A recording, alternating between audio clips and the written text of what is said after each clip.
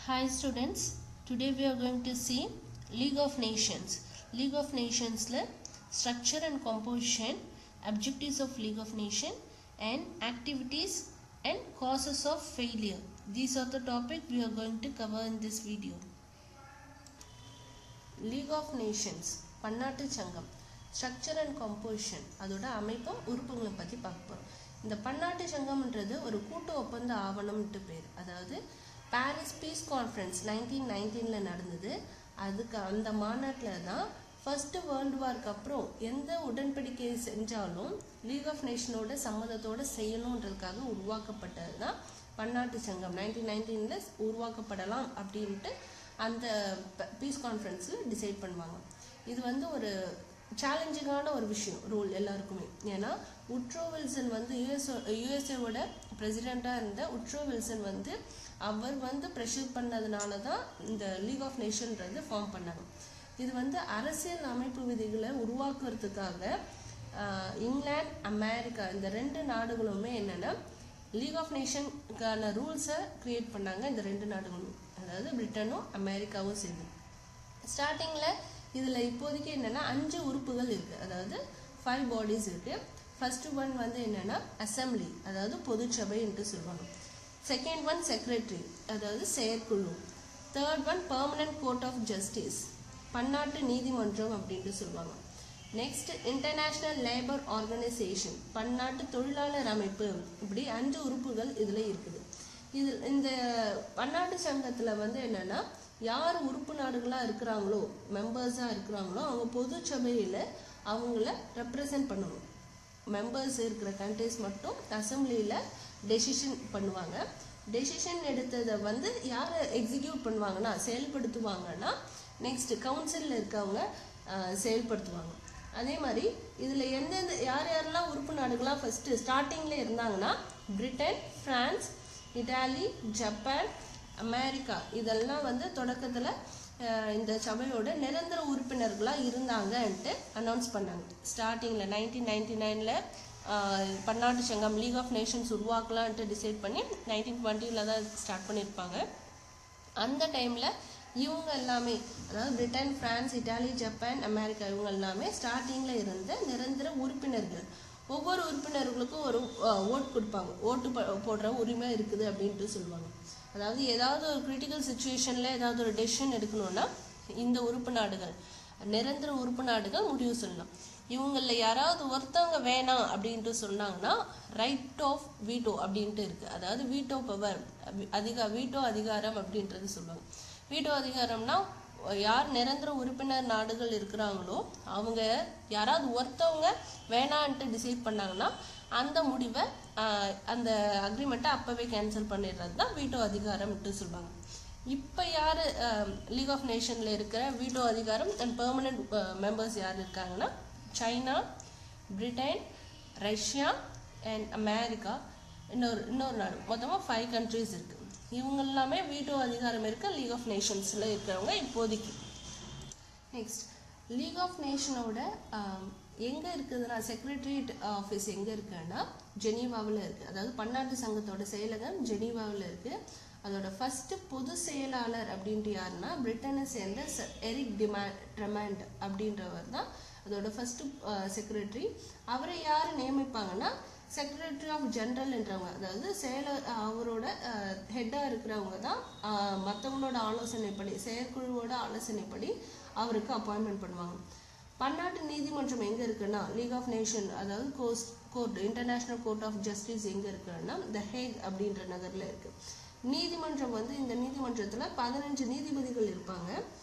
தென் பன்னாட்டு தொழிலாளர் அமைப்பு அதாவது இன்டர்நேஷ்னல் லேபர் ஆர்கனைசேஷன் அப்படின்றது எங்கே எங்கே இருக்குன்னா ஃபஸ்ட்டு ஃபஸ்ட்டு இதில் பொது மாநாட்டில் ஒவ்வொரு உறுப்பினருக்கும் யார் யாரெல்லாம் உறுப்பு நாடுகள் இருக்கிறோ அவங்க அந்த உறுப்பு நாடுகள்லேருந்து நாலு பேர் இதில் உறுப்பினர்களாக சேரலாம் அப்படின்னு சொல்லப்படுது இதுதான் league of நேஷனோட structure and compositions objectives of the league அதாவது பன்னாட்டு சங்கத்தோட குறிக்கோள்கள் பற்றி பார்க்க போகிறோம் பன்னாட்டு சங்கத்துக்கு ரெண்டு முக்கியமான குறிக்கோள் இருந்தது.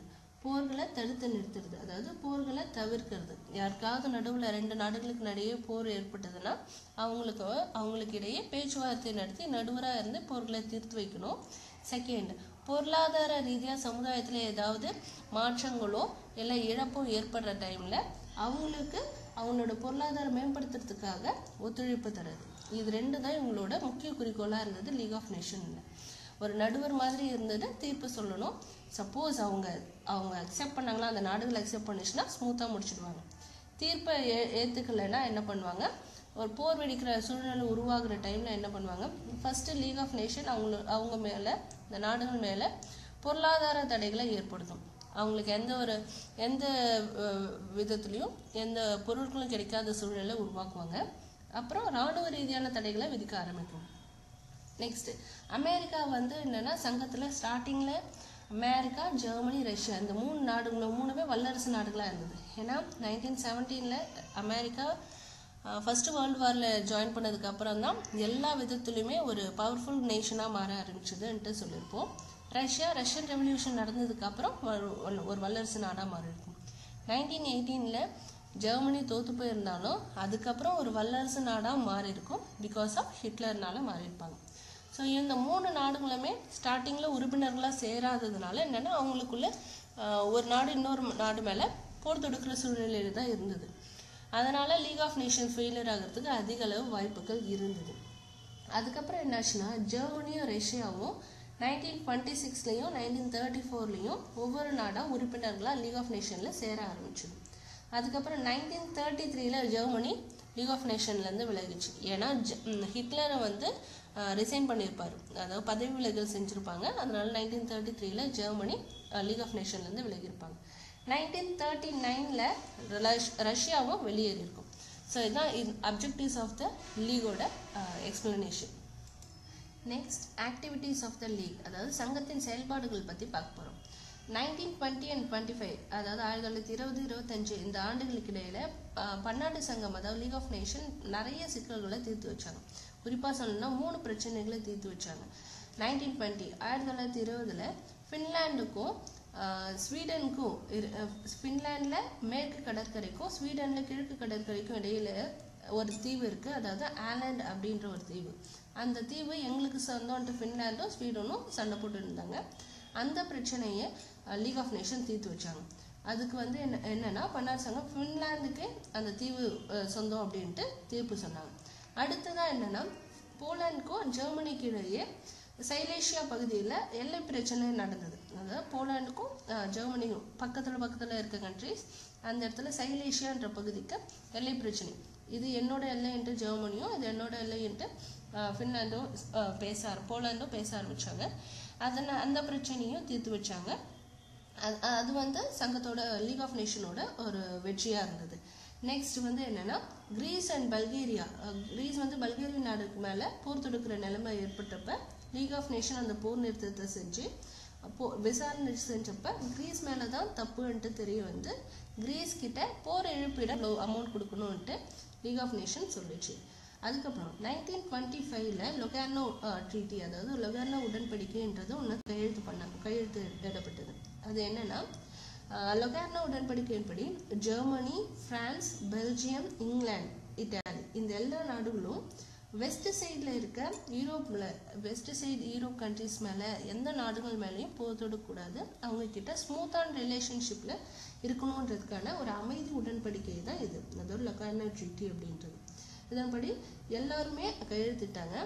ஜெர்மனியும் அந்த டைம் அதுக்கப்புறம் தான் பன்னாட்டு உறுப்பினர்களாக சேர்ந்தது. அதாவது நைன்டீன் டுவெண்ட்டி சிக்ஸில் தான் உறுப்பினர்களாக சேர் சேர ஆரம்பிச்சது. ரெண்டு டூ இயர்ஸ்க்கு அப்புறம் என்ன ஆச்சுன்னா அமெரிக்காவும் ரஷ்யாவும் மற்ற விஷய ஆக்டிவிட்டீஸில் அதாவது லீக் ஆஃப் நேஷன் நடவடிக்கை அல்லாத பல விஷயங்களில் ஈடுபட ஆரம்பிச்சாங்க. யாருன்னா அமெரிக்காவும் ரஷ்யாவும். இதுதான் ஆக்டிவிட்டீஸ் ஆஃப் த லீக் அப்படின்றதுக்கு எக்ஸ்பிளனேஷன் நெக்ஸ்ட் வயலேஷன்ஸ் கட்டுப்பாடு மீறல்ட்டு அர்த்தம். ஐரோப்பிய நாடுகளில் இருந்த பிரச்சனைகளில் மிகப்பெரிய பிரச்சனையாக சொல்லப்படுறது ஆயுத குறிப்பு அதாவது ஒரு நாடு அதிக அளவு போர்க்கருவிகள் இல்லை ஆயுதங்கள் நிறைய வச்சுருந்தோன்னா இன்னொரு நாடு மேலே போர் தொடுக்கிறதுக்கு அதிக வாய்ப்பு இருக்குது அதனால ஆயுதங்களை குறிக்கலாம் அப்படின்றதுக்கான ஒரு மாநாடு ஏற்ப ஏற்பாடு செஞ்சாங்க ஆயிரத்தி தொள்ளாயிரத்தி இருபத்தஞ்சில். அது ஆனால் ஆயிரத்தி தொள்ளாயிரத்தி முப்பத்தி ரெண்டு பிப்ரவரியில் தான் அந்த மாநாடு கூட்டப்பட்டது. இந்த மாநாட்டில் பிரான்ஸுக்கு நிகராக நானும் ஆயுதங்கள் வச்சுருப்பேன் அப்படின்ட்டு ஜெர்மனி அனுமதி கேட்டாங்க லீக் ஆஃப் நேஷன்ட்டு ஆனால் லீக் ஆஃப் நேஷன் அனுமதி கொடுக்கவே இல்லை. அதனால் அக்டோபரில் ஹிட்லர் வந்து நாங்கள் ஜெர்மனியும் இந்த மாநாட்டிலேருந்து விலகிக்கிறோம் அப்படின்ட்டு சொல்லிட்டார். ஆயிரத்தி தொள்ளாயிரத்தி முப்பத்தொன்னில் சைனாவில் இருக்க மஞ்சூரியான்ற பகுதியை ஜப்பான் தாக்குச்சுன்ட்டு ஏற்கனவே சொல்லியிருப்போம். அதாவது இது அதுக்கப்புறம் நடந்தது. ஏற்கனவே ஸ்டார்டிங்கில் ஒரு ஒரு தடவை தாக்கியிருப்போம். அதுக்கப்புறம் ஜப்பான் சைனாவில் இருக்க மஞ்சூரியான்ற பகுதியை ஜப்பான் தாக்கியிருக்கோம். அந்த அதனால் ஜப்பானை கண்டனம் செஞ்சாங்க லீக் ஆஃப் நேஷன் அதனால் ஜெர்மனி செஞ்ச மாதிரி நாங்களும் லீக் ஆஃப் நேஷன்லேருந்து விலகிக்கிறோம் அப்படின்ட்டு ஜப்பானை விலகிட்டாங்க. அதுக்கப்புறம் என்ன பண்ணாங்கன்னா இட் இட்டாலி வந்து எத்தியோப்பியாவை தாக்குதல் செஞ்சாங்க. அந்த விஷயத்துலையும் சங்கம் இட்டாலிக்கு எதிராக தடை விதிச்சது அந்த தடைகளையும் நடைமுறை வந்தப்ப என்ன பண்ணாங்க? இட்டாலி வந்து ஆயிரத்தி தொள்ளாயிரத்தி முப்பத்தேழில் நாங்களும் லீக் ஆஃப் நேஷன்லேருந்து விலகிக்கிறோம் அப்படின்ட்டு சொல்லிட்டாங்க. யார் யார் மேலெல்லாம் கண்டனம் செலுத்துகிறாங்களோ அவங்கெல்லாம் லீக் ஆஃப் நேஷன்லேருந்து விலக ஆரம்பிச்சிடுறாங்க. அதுக்கப்புறம் ரைன்லேண்ட் ஆஸ்திரியா செக்கோஸ்லோவேகியா போலாண்ட் இந்த மாதிரியான பிரச்சனைகளில் தொடர்ந்து பிரச்சனை நடந்தப்ப என்ன பண்ணாங்க? லீக் ஆஃப் நேஷன் யாருக்கும் சப்போர்ட் பண்ணாமல் அமைதியாக இருந்தாங்க. அந்த டைம் அதுக்கப்புறம் ஆயிரத்தி தொள்ளாயிரத்தி முப்பத்தொம்போதில் டிசம்பரில் ஃபின்லாந்து தாக்கியதற்காக ரஷ்யாவை நீங்கள் லீக் ஆஃப் நேஷன்லேருந்து கண்டனம் செ- தெரிவிச்சாங்க. அந்த டைமில் என்ன பண்ணாங்க?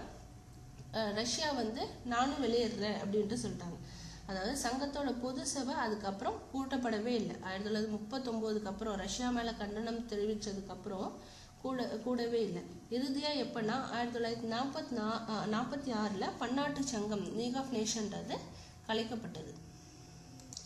நெக்ஸ்ட் காசஸ் ஆஃப் ஃபெயிலியர் அதாவது தோல்விக்கான காரணங்கள் பற்றி பார்க்க போகிறோம் லீக் ஆஃப் நேஷன் பன்னாட்டு சங்கம் முதல் உலகப் போர் யார் வின் பண்ணாங்கன்னா நேச நாடுகள். அவங்களோட கூட்டமைப்பாக மட்டும்தான் இருந்தது. உலக அளவில் அதிக அளவு உறுப்பினர்கள் லீக் ஆஃப் நேஷனில் இருந்தாலும் ஐரோப்பியாவில் இருக்கிற முக்கியமான நாடுகளோட அரசியல் விவேகத்தோட மையமாக தான் லீக் ஆஃப் நேஷன் செயல்பட்டது. அதாவது அரசியல் பிரச்சனைகளில் சங்கம் எடுக்கிற முடிவு முடிவுக்கு உறுப்பினர்கள் எல்லாரும் சம்மதம் சொன்னால் மட்டும்தான் அது செய்வாங்க. யாராவது ஒருத்தங்க வேணாம் சொல்லிட்டாங்கன்னா அதை டிசால்வ் பண்ணிடுவாங்க. இந்த மாதிரி விஷயம் தான் லீக் ஆஃப் நேஷனில் அதிகளவு இருந்தது. அவங்க அதாவது லீக் ஆஃப் நேஷனுக்குன்ட்டு தனியாக எந்த ஒரு இராணுவமும் இல்லாதது தான் இதோட ஃபெயிலியருக்கு முக்கியமான காரணமாக இருந்தது. ஏன்னா ஒவ்வொரு நாடும் அவங்களுக்குன்ட்டு ஒரு இராணுவம் வச்சுருந்ததுனால இவங்க சொல்ல வேண்டிய இவங்க சொல்கிறத நம்ம கேட்கணுன்றது அவசியம் இல்லை அப்படின்ற ஒரு சூழ்நிலை வந்தது. இது ஒரு ஃபெயிலியருக்கு காரணம். அப்புறம் ஸ்டார்டிங்கில் லீக் ஆஃப் நேஷன்ன்றது ஒரு அமைதியை ஏற்படுத்துறதுக்காக உருவாக்கப்பட்ட ஒரு அமைப்பு. அதாவது கூட்டாக எல்லா நாடுகளும் ஒன்றா சேர்ந்து யாருக்காவது ஒரு ஒரு நாடுகளுக்கு நேச நாடுகள் மைய நாடுகள்னால பிரச்சனை ஏற்படுறப்ப எல்லா நாடுகளும் போய் உதவி செய்யணும். இல்லைன்னா ஃபஸ்ட்டு ஸ்மூத்தாக பேசுவாங்க. இல்லாத டைமில் தான் அவங்களோட எல்லா கூட்டு நடவடிக்கையாக போய் உதவி செய்யணும். அவங்களுக்கு பாதுகாப்பு தரணும். அந்த அடிப்படையில் தான் முடிவானது. பட் அந்த மாதிரி எந்த ஒரு விஷயமும் லீக் ஆஃப் நேஷனில் நடக்கலை. இதுதான் ஃபெயிலியருக்கான ரெண்டாவது reason and Italy Japan Germany இந்த நாடுகள் எல்லாத்துலேயுமே என்னென்னா சர்வாதிகார ஆட்சி முறை நடைமுறைப்படுத்துறதுனால அவங்க எந்த அந்த நாடுகளில் இருந்தவங்க யாருமே லீக் ஆஃப் நேஷன் சொல்கிறத கேட்கவே இல்லை. அண்ட் குறிப்பாக இங்கிலாந்து பிரான்ஸ் மட்டும்தான் லீக் ஆஃப் நேஷனில் சொல்கிறத கேட்டுட்டு இருந்தாங்க. அவங்களும் லீக் ஆஃப் நேஷன்னால எந்த ஒரு பிரயோஜனமும் இல்லாத ஒரு பர்சனாக மாறிட்டாங்க. ஏன்னா இந்த ரெண்டு நாடுகள் மட்டும் எல்லா விஷயத்துலையும் ஆர்வமாக பங்கேற்கவே இல்லை. ஏதோ ஒன்று ரெண்டு விஷயத்தில் மட்டும்தான் ஈடுபட்டு செயல்பட்டு இருந்தாங்க. அதனால் யார் ஸ்டார்ட் பண்ணாங்களோ உட்ரோ வில்சன் தான் ஃபஸ்ட்டு ஃபஸ்ட்டு அவரோட ப்ரெஷர்னால தான் ஸ்டார்ட் பண்ணாங்க. பட் அவர் அவரோட நாடு நாட்டை யுஎஸ்ஏவை சம்மதம் சொல்லி யுஎஸ்ஏல இருக்க உறுப்பினர்கள் மக்களை சமா சமாதானப்படுத்தி லீக் ஆஃப் நேஷனில் உறுப்பினராக முடியாமல் போயிடுச்சு. இதுதான் இதோட ஃபெயிலியருக்கு காரணம். ஸோ இதுதான் லீக் ஆஃப் நேஷன்ஸோட causes causes of failure and structure and composition league of நேஷனோட explanation இதுதான் இதோட ஃபர்ஸ்ட் லெசன் ஓவர்